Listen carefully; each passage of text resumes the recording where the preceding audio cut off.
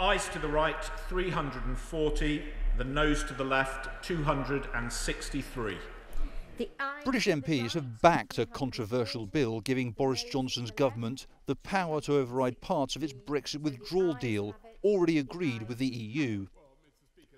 Earlier, the Prime Minister had said that the Internal Market Bill was necessary as it contains vital safeguards to protect Northern Ireland and the rest of the UK if negotiations on a future trade deal were to break down.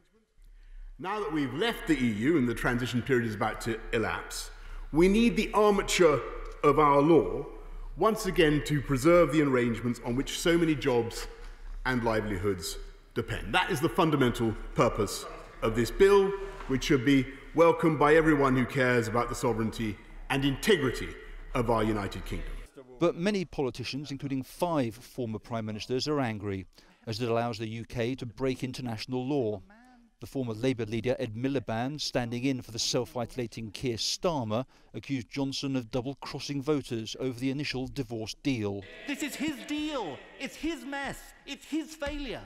For the first time in his life, it's time to take responsibility. It's time to fess up. Either he wasn't straight with the country about the deal in the first place, or he didn't understand it. The bill has several more stages to go through, but with an 80 seat majority in the House of Commons, Johnson is expected to have enough votes to push it through Parliament, despite the anger both within the opposition and in Brussels. Andrew Lebence, Euronews.